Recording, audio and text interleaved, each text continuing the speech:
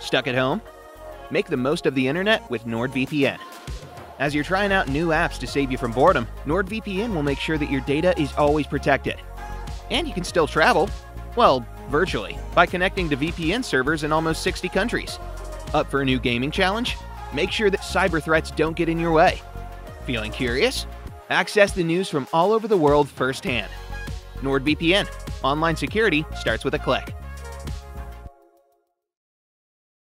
Today's episode is called Bobbie Jo's Sorority.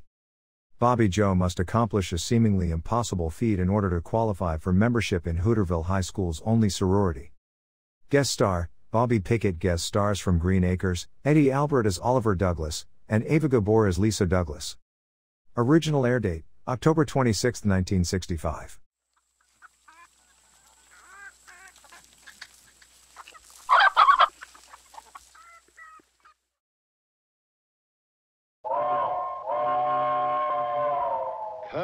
Ride the little train that is rolling down the tracks to the junction. Forget about your cares, it is time to relax at the junction. Lots of curves, you bet, and even more when you get to the junction. Petticoat Junction.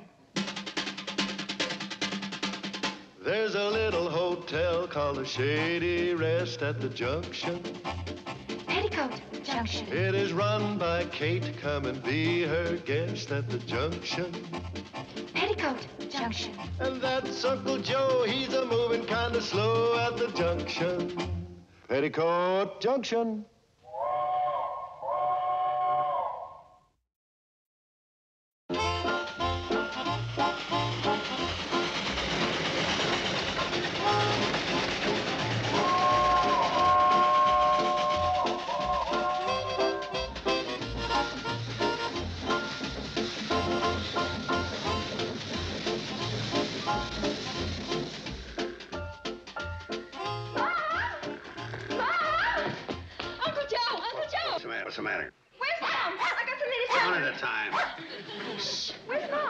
Mom? She's in the lobby. Thanks. Just a second. What do you want? One thing I can't stand, it's a rude dog. Mom! Mom! Mom! What is it, Bobbie Jo? Wait till you hear what happened. Is your name Bobbie Jo? Will you please be quiet? I want to tell Mom the news. What news? Well, Mom, have you seen my baseball glove? Well, isn't it in your closet? No. How about under the bed? No, I looked under there. Don't you want to hear my news? Well, of course I do, dear. What news? Well, the most... The potatoes are all peeled. Oh, good girl. Would you put on some water to boil? For crying out loud. Oh, I'm sorry, darling. Oh, what news? Well, Kate, Bobbie Jo. Oh, you found her. yes. Well, I just wanted to make sure Bobbie Jo wants to tell you something. Yes. What uh, was she- it? I haven't been able to tell her yet. Why not? Because, Go on, Bobbie Jo. well, I've been nominated for Omicron Epsilon Pi. I'll be out on the porch if you need me. I'll put the water on to boil. Hey, I just remembered. I left my glove in my lunchbox. Fine family. I came home with the most important thing that's ever happened to me, and nobody wants to listen. Well, honey, I want to listen. And I think it's just wonderful that you were nominated to the uh, uh, Harmon, uh, Armon, uh, Epson, whatever. it is. Omicron Epsilon Pi. you know, it's just wonderful to be able to say it. what is it? It's Hooterville High's most exclusive sorority. Not only that, it's the only one. Oh, that's great. One, two. Of course, I'm not really a full-fledged member until I take my initiation. Well, they must want you, or they wouldn't have nominated you. Lots of girls have been nominated but didn't pass the initiation. Like last year, poor Eloise McElroy had to wear a potato sack to school. On the very day she had to recite the Ancient Mariner in assembly. Wasn't that awful? Yeah, so.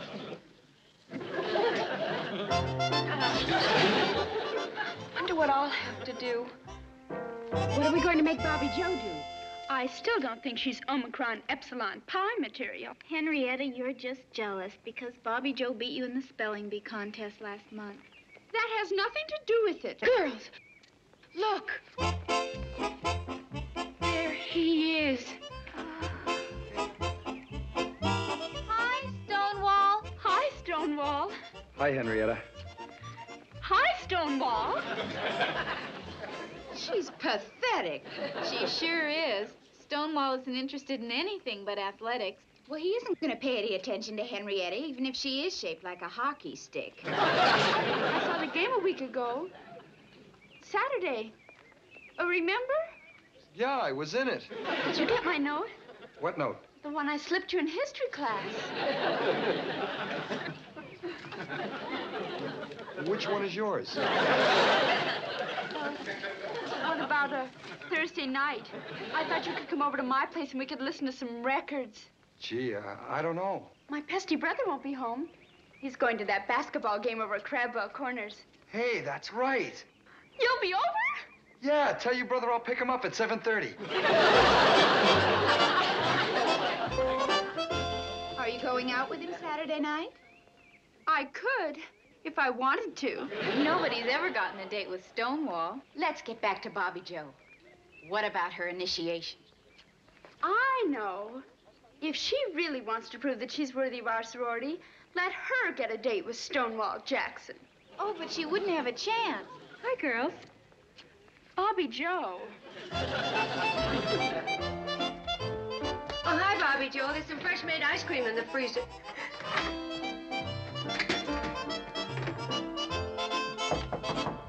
Bobbie Jo, what's wrong? Everything. No fever. Stick out your tongue. No, Mother, leave me alone. You know what? It must be that virus that's been going round. It's worse than the virus. Well, next run of the cannonball, I'm taking you into town and let Doc Stuart have a look at you. It's no use, Mom. This is beyond medical science. Who is he? Oh. Pixley boy? Crabwell Corners? Hooterville? Hooterville, the boys from Hooterville. Uh, tall boy. Short boy. Freckle boy? Tall, short, freckle boy. Uh, tell me, uh, Fenton Kincaid. Mother! Oh, of course not. Fenton Kincaid's only nine years old. Could be Walter Brubaker. It's Stonewall Jackson, and I have to get a date with him. Well, what's so hard about that? Well, why do you think they call him Stonewall? No girl can get a date with him. Wanna bet? Not even you. Uh, uh, uh, uh. I'll take half that bet. I got a great deal of confidence in your sister. Well, even if she can, what good would it do me? I'll just tell him I'll go out with him on one condition. That he takes you out first. I should have never let you talk me into this. Oh, don't make such a federal case out of it. After all, he's just a boy. You don't know Stonewall. He's not interested in the opposite sex. Up till now, he hasn't met any girl who's this opposite. Point him out. He's the one throwing the football to Red Nelson. Now, pay attention.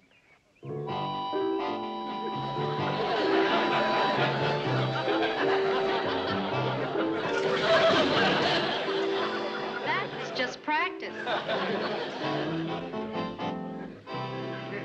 Ask you, how could a guy miss it? It was right in his mitts. Perhaps something distracted his attention. Well, he didn't see anything I didn't see. I don't think we've met. I'm Billie Jo Bradley. Billie Jo Bradley. Oh, you've heard of me. Yeah, your kid sister plays shortstop for the Hooterville Hawks. You know, I was just thinking. For the first time in six months, I've got a Saturday night open. You have? Come to think of it, so have I. Well, you have a Saturday night open, and I have a Saturday night open. Yeah. It would be a shame to waste it, wouldn't it? Well, I'm not going to waste it. I'll get Chunky McGurk and play some handball. My reflexes are getting kind of slow. Hello. I've got news for you, Mr. Jackson. They're dead.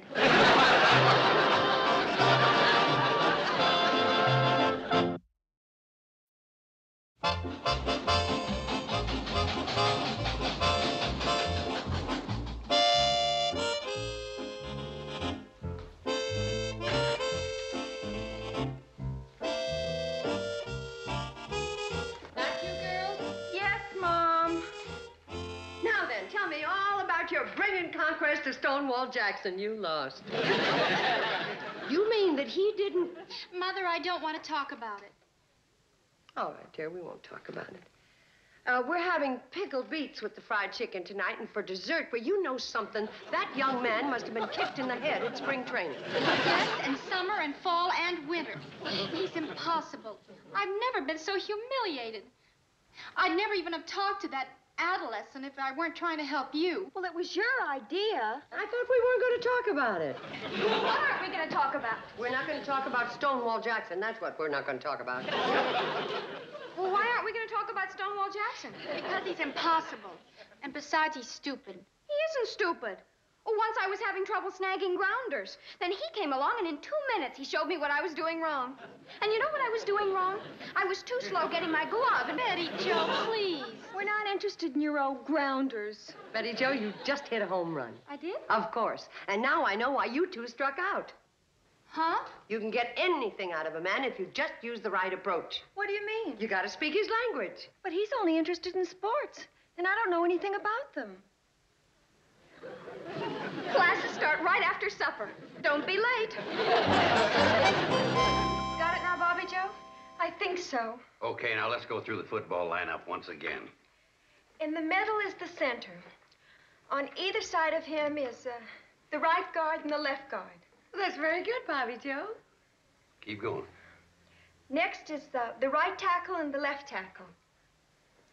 And right behind the center, waiting for the ball, is shortstop. no, shortstop is baseball. The quarterback. Now, the mustard here is the center. The salt shaker is the right guard. Pepper is the left guard. Right behind the center is the quarterback. Well, Uncle Joe, the quarterback's diluting the gravy. Now, what position does Stonewall Jackson play?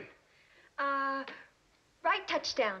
Oh, no. Left touchdown. Bobby, I guess I'm just gonna have to keep you in after school. What record did Stonewall break last year? Pole vaulting. What was the record? 14 feet, 8 inches. Good, good. Now, in the baseball playoff last season, how many innings did he pitch without giving up a hit? Uh, seven. You're doing fine. Now, what record is he going for this year? Shot put. No, I mean discus. Right. Do you know the difference between a shot put and a discus? Well, a shot put is like this. and, um, a discus is like this.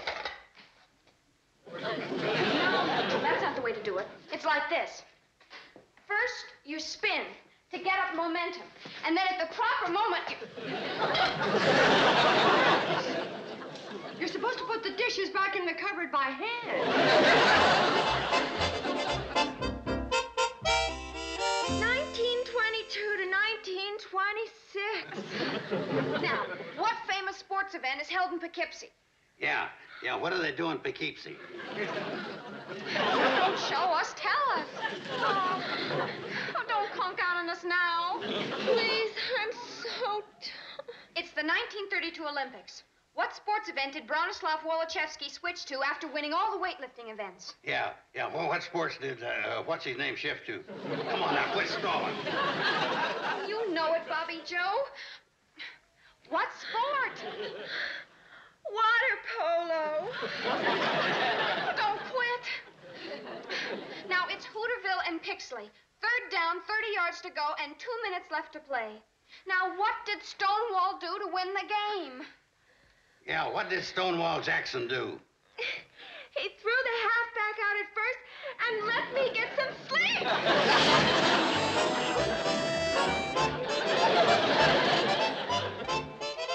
Hi, Betty Jo. Well, Bobbie Jo, I suppose you've got your date all lined up with Stonewall Jackson? Well, I. Go ahead. You just get my sorority pin ready and let me worry about Stonewall. Well, you haven't much time left. Deadline's less than three days away. Girls, I'm afraid we haven't been fair to Bobbie Jo. Why, it's asking a, a sparrow to lure a peacock. Well, of all the... Boy, that Henrietta. When they were handing out mean disposition, she came back for seconds.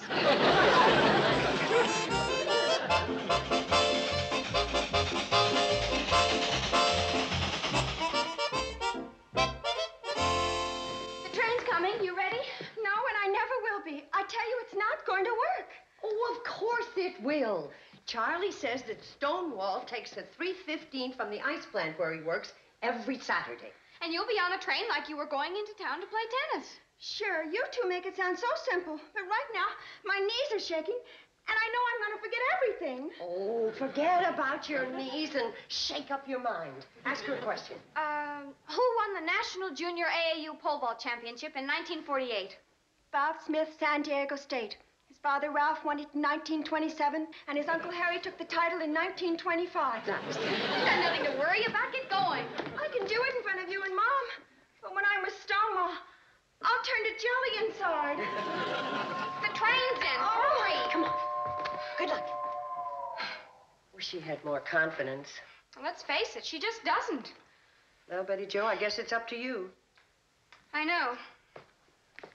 Plan A.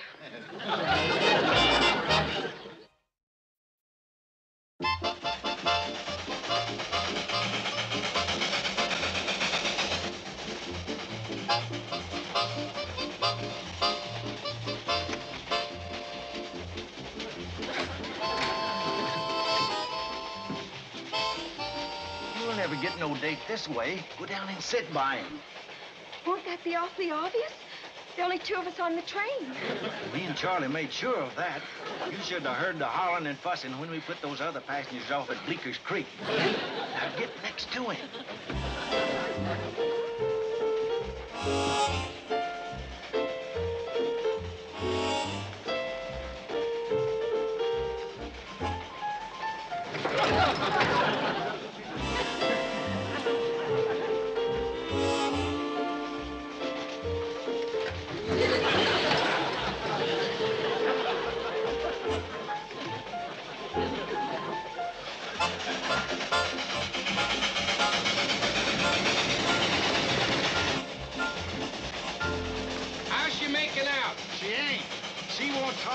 Acts like he don't even know he's there. Bobbie Jo's such a pretty girl. Stonewall don't sound like he's too brilliant for a three-letter man. Yeah, and I know the three letters. D-O-P, dope. Dope has five letters. Five? F-L-O-Y-D, dope. Gee, that's spelled the same as my name. Well, never mind. Get out there and do something. We gotta get them together. Hey, Charlie, speed her up.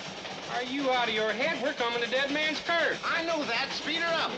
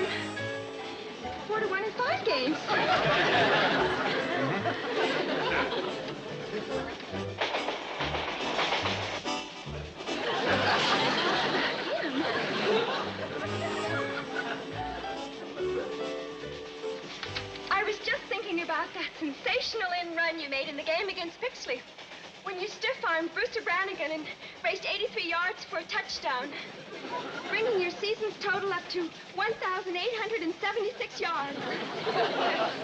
but after the Crabwell's corner game, you brought your total up to 2,019. Are You interested in football? Oh, yes. I'm interested in all sports. I'm on my way to Hooterville now to play a match with the girls.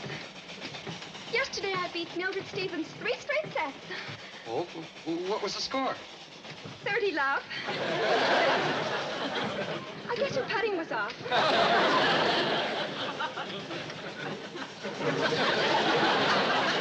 I mean, her backhand was off. I never played much tennis. Well, with. How could you with football, baseball, basketball, javelin throwing, pole vaulting, discus. You know, you're the first girl I've met who's ever made any sense.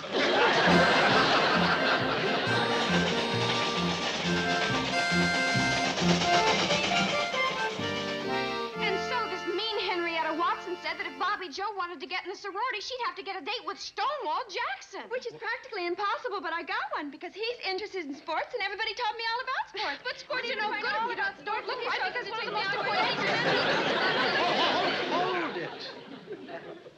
Could I have that again, please? The whole thing? No, just the last part. Well, the words are no good if it doesn't look right because it's one of the most important things a man knows about. Lisa, Yes, darling. Would you come out here, please? Yes. Oh, hello, girls. Hi, hi. Uh, they're trying to ask me something, but I can't quite figure out what it is. What's the problem? Well, Bobbie Jo has a date with. And she wants to borrow a dress. Yes, ma'am. How did you determine that? Woman's talk. Come along, girls. Let's see what we can find.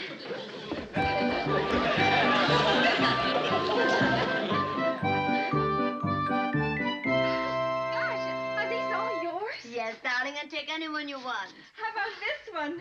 Oh, no. This is more for after you are married to the man. Oh, what kind of a fellow is this? Well, he's very athletic. He likes sports and football and baseball. Well, I'm afraid I haven't got anything to offer for a football player, but, oh, this will do for any kind of man. Are you sure it'll work? This is the one I caught Mr. Douglas with. It was the green one. Darling, you remember.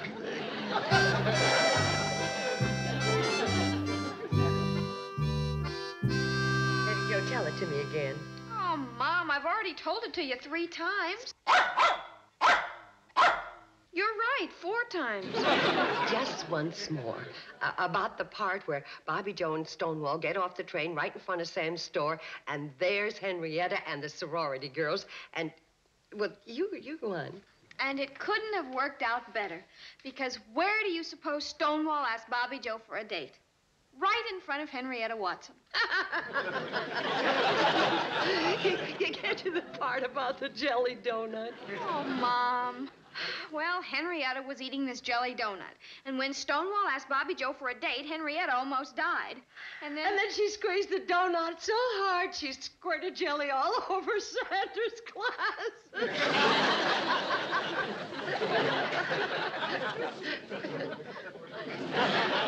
Bobbie Jo certainly did look lovely tonight, didn't she? That was nice of Mrs. Douglas to lend her that dress. Sure was. Oh, I just hope she and Stonewall run into Henrietta when they're on their way to. Where did he say they were going tonight? We didn't. Probably some quiet, romantic spot where they can be alone. And he'll be whispering sweet nothings into her ear. No, no, Bobbie Jo. You bring the shot up to this position.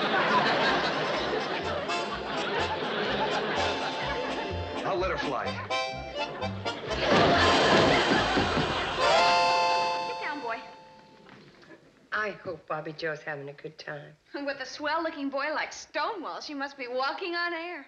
All right. You can come down now.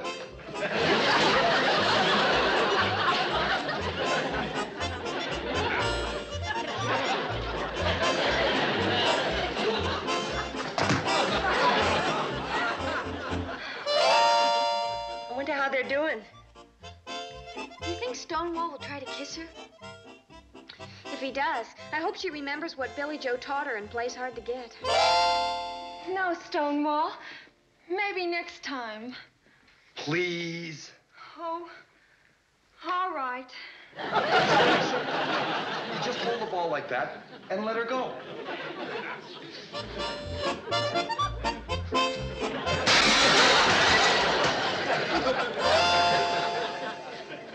About now, Stonewall and Bobbie Jo should be sitting in the Pixley ice cream parlor having a double chocolate banana colossus.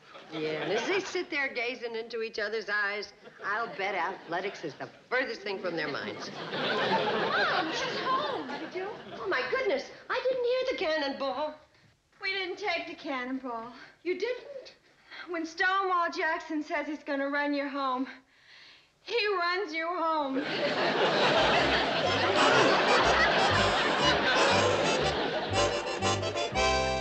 And now, as secretary of the membership committee. I bestow this pin, thereby inducting you, Bobbie Jo Bradley, into Omicron Epsilon Pi. Thank you. I had a speech already, but I. Oh, never mind the speech. How was your date with Stonewall Jackson? Tell us how it was. Girls, you wouldn't believe it. Going to go steady with him? Well, since Henrietta was responsible in a way for my meeting Stonewall, I thought the least I could do was get her a date with him. Oh, there she is. Now, as soon as you heal up, we'll go right back out there and try that pole vault again.